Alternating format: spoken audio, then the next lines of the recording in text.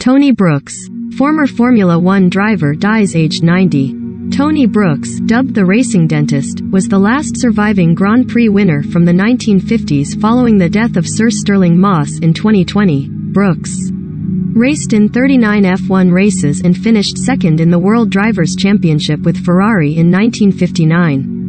Former racing driver Tony Brooks, who won six Formula One Grand Prix races in the 1950s and 60s, has died aged 90.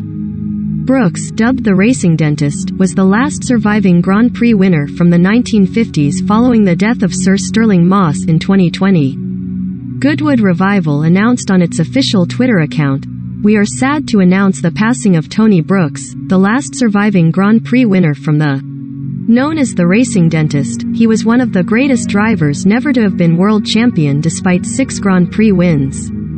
Our thoughts are with his. Brooks raced in 39 F1 races and finished second in the World Drivers' Championship with Ferrari in 1959 after finishing third the previous year with Vanwall. Born in Dukinfield, Cheshire in 1932, Brooks, who followed his father into dentistry, secured three pole positions and 10 podium finishes during his six-year F1. F1 chief executive Stefano Domenicali also paid tribute to Brooks in a statement, which read, I was saddened to hear the news that Tony Brooks has died. He was part of a special group of drivers who were pioneers and pushed the boundaries at a time of great risk. He will be missed and our thoughts are with his family at this time.